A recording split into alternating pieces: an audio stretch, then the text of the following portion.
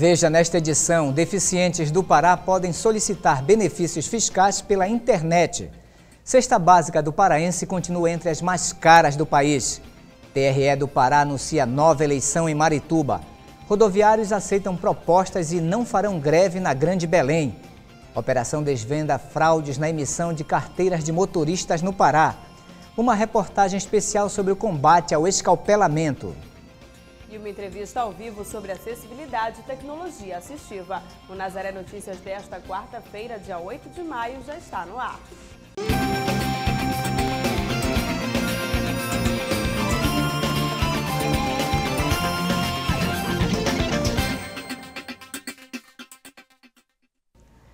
O Nazaré Notícias de hoje destaca algumas iniciativas que contemplam as pessoas com algum tipo de deficiência. Começamos exibindo uma reportagem falando sobre os incentivos fiscais que são destinados a esse público aqui no Pará. A estimativa é que existam no estado 2 milhões de deficientes. Na compra de um carro novo, por exemplo, eles são isentos do ICMS e, em outros casos, do pagamento do IPVA. A novidade é que agora o benefício pode ser solicitado online no portal da Secretaria da Fazenda do Pará. Há dois anos, Valdir realizou o sonho de comprar seu carro, mas só conseguiu porque ganhou cerca de 30% de desconto. Um veículo zero quilômetro é muito, é, era um sonho de consumo muito longe, né? Com as isenções de IPI e ICMS, é, cai em média 30% do valor do veículo. Então, é, encorajou muito as pessoas com deficiência de estarem procurando né, as concessionárias para comprar esse veículo, em função dessa, dessa ajuda com relação à, isenção de IPI. Por lei, motoristas com deficiência física possuem a isenção do ICMS na compra de um carro zero. Mas a partir deste ano, o benefício fiscal foi expandido pela Secretaria da Fazenda do Pará. Houve uma mudança para o ICMS, tá? porque é um convênio do CONFAS, tá? uma decisão política. A lei estadual, no caso do IPVA, que eles também têm direito, não foi alterada. Tá? A lei do IPVA permanece somente para as pessoas com deficiência que dirigem o veículo. Tá? Então, o que a gente quer deixar bem, bem explicado: o ICMS ampliou, que é na compra do veículo, o deficiente tem direito a essa isenção na compra, numa aquisição de um veículo novo, não é um veículo usado, é um veículo novo. Tá? Mas o IPVA não. O IPVA ainda, né, neste momento, até porque é uma lei estadual, depende da decisão da Assembleia Legislativa, ele ainda permanece somente para pessoas que dirigem o veículo. O benefício atinge pessoas com deficiência física, visual, mental e autistas, diretamente ou por intermédio de um representante legal. A estimativa é que existem no Pará 2 milhões de pessoas com deficiência, mas até o ano passado, somente 3 mil solicitaram benefício na Secretaria da Fazenda. A previsão é que, com o aumento do grupo de beneficiários, este número comece a crescer. O serviço pode ser solicitado online no portal da Cefa. O procedimento virtual deve diminuir o tempo de tramitação do processo. Nós fizemos testes, inclusive, né? chamamos o Conselho da Pessoa com Deficiência, os representantes do Conselho.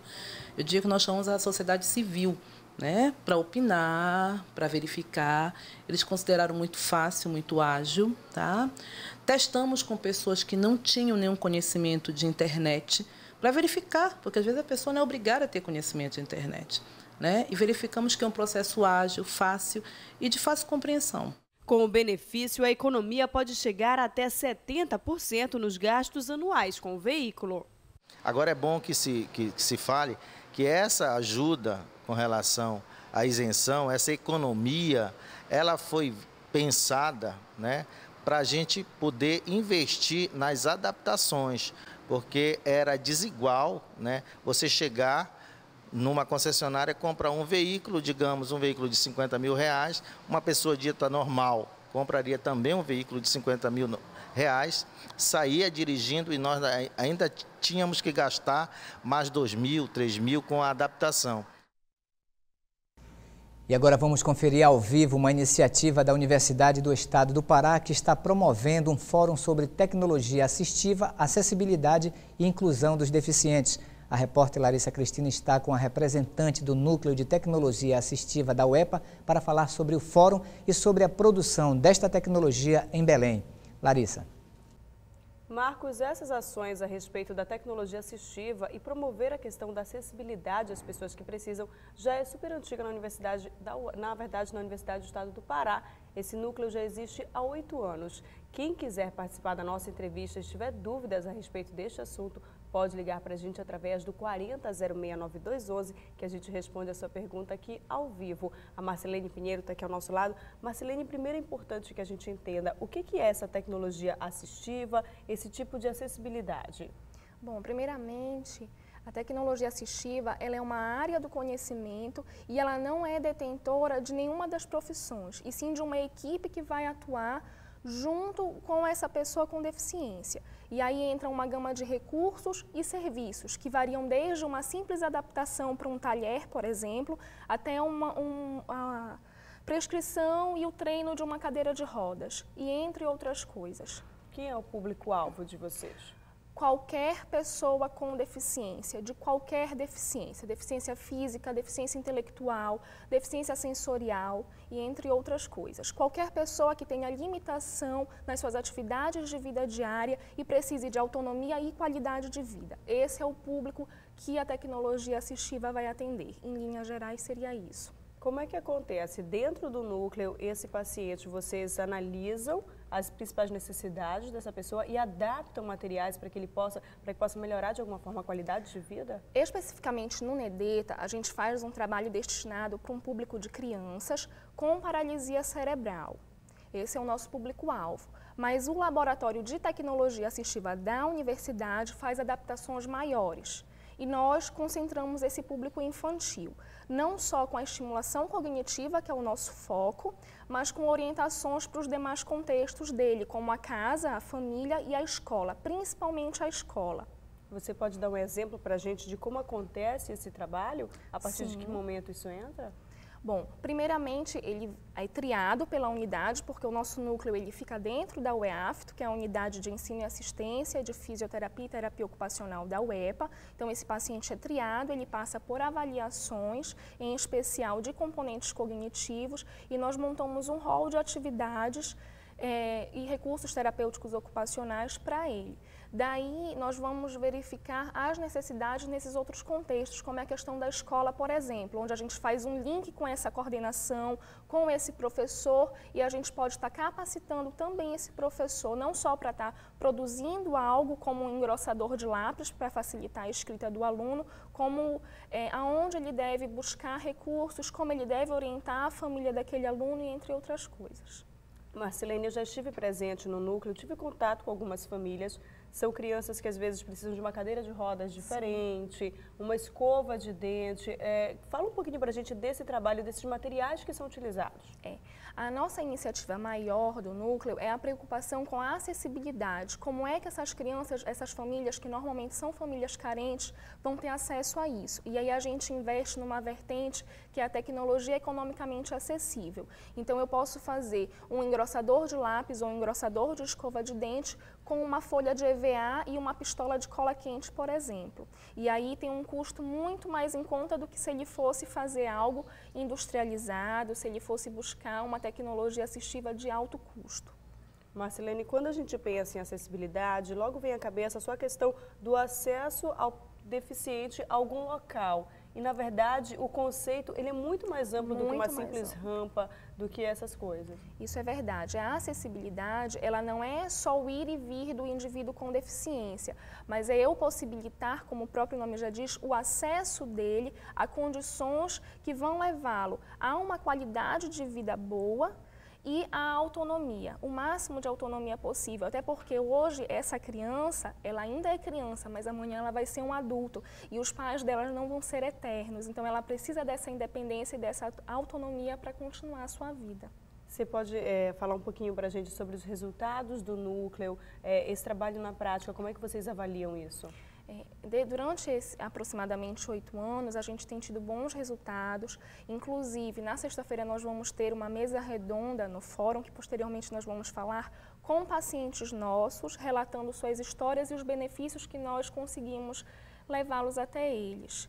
É, a gente avalia que o Núcleo tem feito um trabalho muito positivo, os números realmente são imensuráveis, porque para mim o que pode ser muito, para aquele paciente pode ser muito mais ainda. O simples fato de eu auxiliar aquela mãe a dar um banho melhor nele com uma cadeira de banho adaptada, por exemplo, para ela pode ser imensurável. Obrigada, Marcelene, pelas suas informações. A gente já já volta a conversar. No próximo bloco, você acompanha mais informações sobre o Fórum de Tecnologia Assistiva e Acessibilidade que está acontecendo aqui em Belém. E a gente lembra que se você tiver dúvidas e quiser participar, ligue para a gente através do 40069211. Eu volto aí no estúdio é com você, Marcos. O Centro de Referência Estadual em Saúde do Trabalhador promove hoje um seminário de enfrentamento ao assédio moral. A ideia é debater a criação de estratégias institucionais para o ambiente de trabalho. O seminário conta com a participação de facilitadores de referência nacional e estadual no campo da saúde e do direito, como discussões sobre o assédio moral. O evento é destinado aos profissionais dos centros de referência, representantes do Estado e dos municípios, centrais sindicais e sindicatos de trabalhadores e patronais, além do Ministério Público do Trabalho, Defensoria Pública e Ministério do Trabalho. Agora, o assunto que preocupa muitos consumidores paraenses. A cesta básica do Pará teve nova alta em abril e continua entre as mais caras do país. Pelo quarto mês consecutivo, a cesta básica paraense sofreu reajuste. Em abril, o aumento em comparação com março foi de 5,25%. No acumulado dos primeiros quatro meses deste ano, a alta chega a 13%, de acordo com pesquisa do Diese Pará. Segundo o levantamento, em abril, o custo da cesta básica para o trabalhador paraense foi de R$ 307,18. Com alta de 18,55%, o tomate é o item que sofreu maior reajuste no período, seguido da banana, que ficou 12,42% mais cara. O feijão teve alta de 8,02%, o leite de 2,55% e a farinha de mandioca de 1,89%. Ainda de acordo com a pesquisa, alguns produtos básicos da alimentação dos paraenses apresentaram recuo nos preços. Os mais significativos foram o óleo de cozinha, com queda de 1,35%, seguido da carne bovina, com queda de 1,30%, e do arroz, com queda de 1,26%. Segundo o Diese, no mês de abril, o custo da cesta básica para uma família padrão paraense, composta de dois adultos e duas crianças, ficou em R$ 921,54, sendo necessários, portanto, quase 1,4 salários mínimos para garantir as mínimas necessidades do trabalhador e sua família somente com alimentação. Um projeto de lei complementar propondo a criação, incorporação e desmembramento de municípios está em tramitação no Congresso Nacional e, se for aprovada e sancionada, a proposta vai permitir a criação de 806 novos municípios. Segundo o levantamento da Confederação Nacional dos Municípios, no estado do Pará seriam criados cerca de 35 novas cidades, entre elas Icoraci e Mosqueiro. Todos os distritos interessados já protocolaram nas assembleias legislativas de seus estados pedidos de emancipação. A votação na Câmara Federal em regime de urgência está prevista para a próxima terça-feira, dia 14. O Tribunal Regional Eleitoral definiu a data das novas eleições para a Prefeitura de Marituba, na região metropolitana de Belém. O pleito suplementar será realizado no próximo dia 4 de agosto. A decisão da nova data foi definida pouco mais de um mês depois do acórdão publicado no Diário Oficial da União, que previa a nova eleição. Na próxima terça-feira, dia 14, será divulgado oficialmente o novo calendário da votação de Marituba. O TRE divulgou que a eleição suplementar irá custar 150 mil reais, custos que serão assumidos pelo orçamento do Tribunal Superior Eleitoral. Desde o dia 1 de janeiro, Marituba vem sendo administrada pelo presidente da Câmara de Vereadores, após o prefeito eleito na última eleição, Mário Filho, ter sido impedido de assumir o cargo por não ter prestado contas da eleição anterior.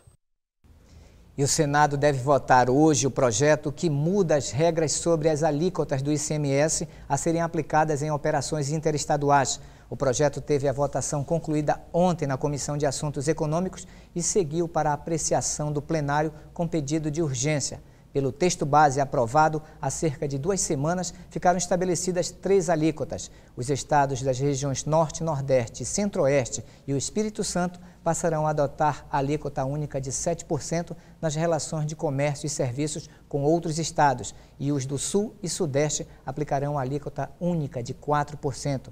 Os produtos da Zona Franca de Manaus e das áreas livres de comércio serão repassadas aos demais estados com alíquota de 12%. E você acompanha ainda nesta edição: rodoviários aceitam proposta e não farão greve na Grande Belém. Operação desvenda fraudes na emissão de carteiras de motoristas no Pará. Uma reportagem especial sobre o combate ao escalpelamento. Voltaremos a falar ao vivo sobre tecnologia assistiva e acessibilidade. O Nazaré Notícias volta já. Desde o fim da tarde de ontem, a população de Belém estava apreensiva em relação a uma possível greve de ônibus, mas os rodoviários de Belém aceitaram a proposta de acordo e descartaram greve em toda a região metropolitana.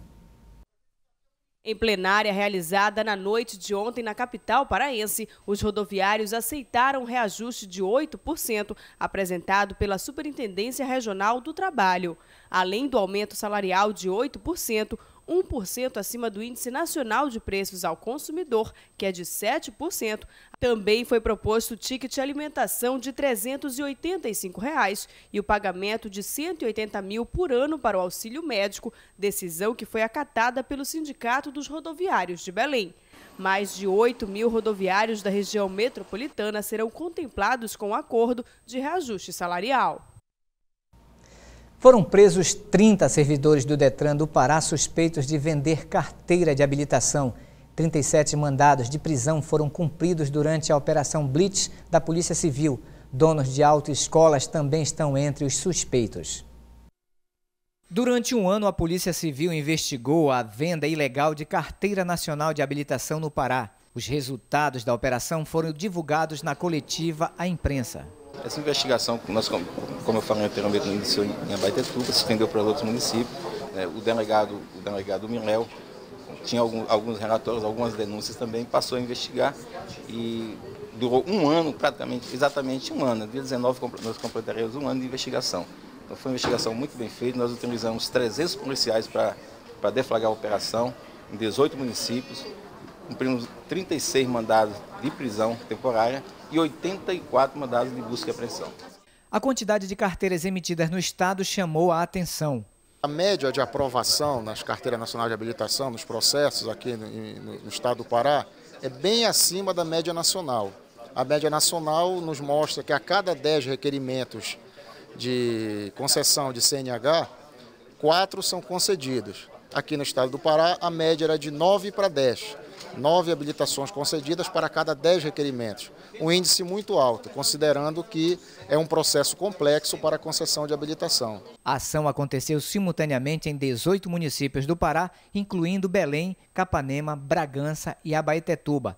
30 servidores do Detran e donos de autoescolas estão entre os suspeitos. Onde há órgão, onde há agente tentando participar de forma fraudulenta dessa relação, naturalmente ela se apresenta. Então nós temos Belém apenas como uma referência em função do tamanho da população do município, mas nós temos cada município como uma unidade do Estado. Né? Então quando você parte para a presença do órgão e para agentes que tenham interesse em fraudar, essa possibilidade se expande. Né?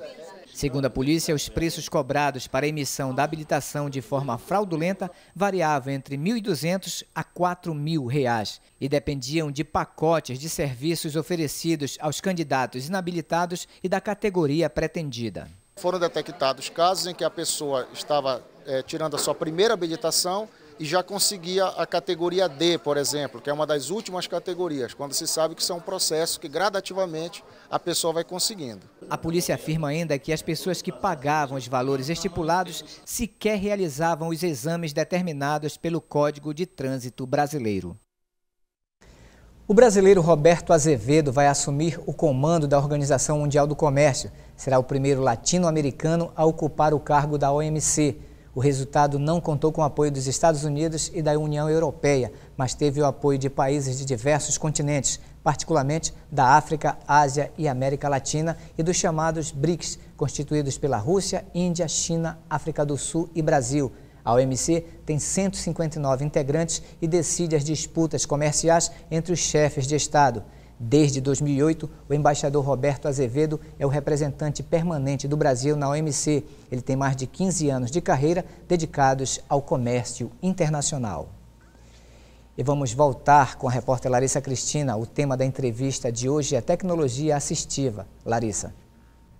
Marcos, será aberto hoje em Belém o quarto Fórum de Tecnologia Assistiva e Acessibilidade promovido pela Universidade do Estado do Pará. E a gente lembra que quem quiser participar ou tiver dúvidas sobre este assunto, sobre tecnologia assistiva, pode ligar para a gente através do 40069211. A Marcelene está aqui ao nosso lado para esclarecer todas as dúvidas. Marcelene, a gente começa com a dúvida do telespectador, o Alessandro Silva, do bairro do Marizal. Ele quer saber que profissionais que trabalham no núcleo da universidade para atuar com esses pacientes.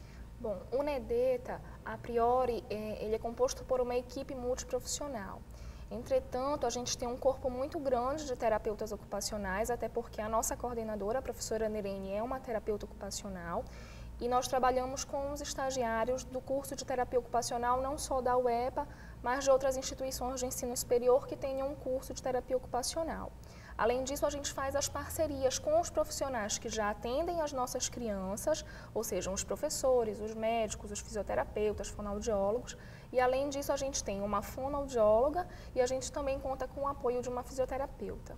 O que é importante esclarecer também, Marcelene, é que os pais podem acompanhar, muitas vezes, esse atendimento do filho. Sim, sim. Os nossos atendimentos, eles duram em torno de 30 a 40 minutos, eles acontecem duas vezes por semana e eles são feitos por um estagiário com a supervisão de um técnico do NEDETA. Agora, Marcelene, vamos falar um pouquinho sobre a programação do fórum, que tá sendo, vai começar hoje, a partir das 18h30. Fala um pouquinho para a gente desse fórum. É, a conferência da abertura oficial do fórum, como você falou, ela vai acontecer às 18h30, porém hoje pela manhã nós já tivemos três workshops pré-evento que a gente chama. Amanhã pela manhã nós vamos também continuar com outros três workshops. À tarde, nós vamos ter mesa redonda e palestras. E na sexta-feira, nós vamos ter, pela manhã, a apresentação dos trabalhos das pessoas que inscreveram trabalhos. E aí tem trabalhos de todo o país. E à tarde, nós vamos ter mesa redonda e uma palestra de encerramento. Agora, existe algum objetivo especial para esse fórum estar tá acontecendo aqui em Belém? O Estado do Pará, a Universidade do Estado, ela é referência nesse tratamento? Bom, é, o que, que, a gente pode dizer é que o nosso núcleo é um dos núcleos que desenvolve em todo o país, dos poucos núcleos que desenvolve esse tipo de serviço. E na nossa região acaba sendo uma referência no que se diz, o que se fala em inclusão em tecnologia assistiva, sim. Agora, quando a gente fala, Marcelene, na área acadêmica, como é que a gente pode entender uh, o grande foco, a discussão da tecnologia assistiva? A tecnologia assistiva ela vem para potencializar a inclusão dessa pessoa com deficiência. Que hoje a gente não vive mais um momento de segregação, de esconder essa pessoa com deficiência, e sim de verificar as suas potencialidades e proporcionar a elas qualidade de vida, autonomia e independência sempre. Agora, Marcelene, desse fórum que vai ser aberto hoje em Belém, participam pessoas de, de todo o Brasil? Sim, de todo o Brasil. Nós temos palestrantes da UFSCar, Unicamp, temos pessoas da nossa terra também, que isso é muito importante frisar, que nós temos excelentes profissionais aqui em Belém, na nossa região. Então, é uma miscelânea de conhecimentos mesmo. As pessoas que forem vão ser contempladas com isso com essas diferentes realidades, eles trazendo as experiências deles do Sul e Sudeste e nós com as nossas experiências aqui do Norte e Nordeste. E após este evento, o Fórum pretende se lançar algum documento, alguma publicação a respeito? É, normalmente nós lançamos os anais do Fórum, que vem o resumo de todos os trabalhos que foram apresentados no evento e além disso nós vamos ter o lançamento de mais um livro, mais uma publicação do Núcleo hoje na conferência, eh, no coquetel da, após a conferência. Agora, Marcelene, quem ficou interessado na nossa conversa, quiser saber mais detalhes sobre o núcleo, você pode deixar os contatos para a gente? Sim, vocês podem acessar o site www.forumtecnologiaassistiva.com.br ou ligar para o NEDETA 3277-1909. Obrigada, Marcelene, Nada, pela sua eu presença. Eu agradeço a oportunidade. Muito obrigada, um ótimo evento. E agora eu volto aí no estúdio. É com você, Marcos. As técnicas e as etapas para a organização de um projeto cinematográfico, desde a ideia original até a sua produção e comercialização, serão apresentadas numa oficina promovida pelo Instituto de Artes do Pará. As inscrições são gratuitas e podem ser feitas até sexta-feira. O ministrante da oficina, que é destinada aos profissionais de cinema e audiovisual, será o cineasta Vitor Lopes. No ano passado, o diretor filmou aqui no Pará o longa Serra Pelada. Os interessados em participar da oficina deverão enviar e-mail para iap.artesvisuais.gmail.com. Estão abertas as inscrições para o 27º Prêmio Jovem Cientista. Serão dados mais de 700 mil reais em prêmios. A repórter Patrícia Nascimento tem mais informações. Marcos, podem participar estudantes do ensino médio, de graduação e de pós-graduação. O tema desta edição é Água, Desafios da Sociedade. Mestrandos e doutorandos devem enviar trabalhos relacionados às suas linhas de pesquisa. As inscrições seguem até o dia 30 de agosto e devem ser feitas pelo site www.jovemcientista.cnpq.br. Patrícia Nascimento para o Nazaré Notícias. Hoje, a Orquestra Sinfônica do Teatro da Paz abre a temporada de concertos de câmara na Igreja de Santo Alexandre, na Cidade Velha, em Belém. A apresentação será a partir das 8 horas da noite e a entrada é franca e sem, e sem distribuição de ingressos. O regente da orquestra é o maestro Miguel Campos Neto, que também tocará na apresentação. Esta é a quarta edição do concerto de séries Câmara. As três primeiras edições também ocorreram na Igreja de Santo Alexandre. Um acidente trágico e tipicamente da Amazônia. Desde 2006, a Santa Casa de Misericórdia do Pará atendeu 57 crianças vítimas de escalpelamento. A prevenção é simples, cobrir os eixos dos motores das embarcações. Mesmo assim, a média registrada pela Santa Casa é de 10 acidentes por ano. Genival mora à beira do rio Aramã, a seis horas de barco do município de Breves, na região do Marajó, no Pará. Ele é pai de Geniele, de 7 anos de idade. Ela sofreu o acidente do escalpelamento no dia 19 de abril. Perdeu 80% do couro cabeludo e passou por cirurgia esta semana. A mãe dela vinha trazendo ela para ir para a sala de aula, né? E aí no meio da viagem ela saiu para secar a água da embarcação e tirou a proteção. E aí quando ela foi jogar água na janela, ela ela se descuidou e ela passou por trás da costa dela sem ela perceber e caiu no escorregou e caiu na numa queda e aí o motor pegou o cabelo dela e puxou ela para dentro do buraco. Os nossos barcos, eles têm um motor estacionário, ele fica no meio do barco. E entre o motor e a hélice tem o eixo. Então, esse eixo descoberto, que faz uma, ele gira a mil rotações por minuto. Ele descoberto e em contato com os cabelos das mulheres e principalmente das crianças enrosca nesse eixo e arranca o couro cabeludo. Às vezes arranca as orelhas, arranca pálpebras, produz uma lesão corporal gravíssima do ponto de vista orgânico, estético e também do ponto de vista emocional, porque muitas dessas meninas jamais vão ter cabelos na cabeça. Quando acontece o acidente, a vítima deve ser encaminhada imediatamente para uma unidade de saúde mais próxima. Em seguida, é transportada para Belém e logo é providenciado prioritariamente um leito na Santa Casa. As consequências desse tipo de acidente são muitas. A consequência do acidente existe inúmeras, né? tanto do, da parte física como a psicológica, social, reinserção na sociedade. Então, vai afetando uma série de situações, principalmente as crianças, que elas vão passar todas as fases da vida é, sendo acompanhada com a, as consequências do acidente. Quando elas sofrem adulta, elas já passaram por algumas fases né, da vida, mas a criança não, ela vai precisar passar a pré-adolescência, a adolescência, a fase adulta, toda com a história do escalpelamento na vida. No ano passado, além dos escalpelamentos em embarcações, a Santa Casa atendeu três casos envolvendo correia de motor de geração de energia, máquinas de moer mandioca e batedor de açaí. Em alguns casos, há a perda total dos cabelos. Existe todo um projeto de oficinas onde orientam, a, inclusive, a confeccionar perucas. Além da classe escolar, que é para dar continuidade na educação, tanto de jovens, das crianças, quanto dos acompanhantes, ou mesmo das acidentadas maiores. E existe ONG também que libera é, peruca, onde ela, elas mesmas constroem a peruca e elas utilizam. A Capitania dos Portos também faz uma, um trabalho de doação de perucas. Prevenir é o método mais eficaz no combate a esse acidente. É fundamental que a gente evite isso. E todos nós sabemos a causa. Não, há, não precisa pesquisar a causa, o eixo descoberto. E o tratamento é proteger o eixo do motor. Pode ser com madeira, com partes metálicas, com PVC. O eixo protegido evita o enroscamento nos cabelos e evita essa tragédia que é o escalpelamento. Proteção do eixo é a, é a, é a principal. Né?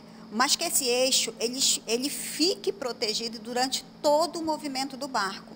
Porque uma das histórias mais frequentes de se ouvir aqui é que tem proteção, mas retirou a proteção para tirar a água, que foi exatamente a última história da última paciente que chegou aqui. E a filha se aproximou, escorregou, caiu e foi acidentada. Então, sempre vai ter uma história nesse sentido. Então, se tem proteção, enquanto o barco estiver em movimento, não pode ser descoberto.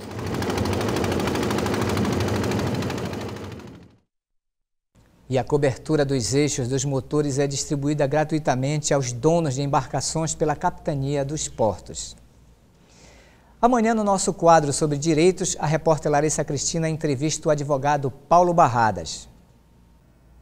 Marcos, neste período de Dia das Mães, o nosso tema para o quadro de direitos será essas compras, os presentes que todo mundo faz nesse período para dar justamente para as mães. Então a gente lembra que você que tem dúvidas a respeito das compras de mercadorias neste período, pode ligar para a gente e envie desde já sua pergunta através do 40069211. Você pode encaminhar a sua pergunta que a gente responde amanhã aqui ao vivo com o advogado Paulo Barradas. Agora eu volto aí com você, Marcos.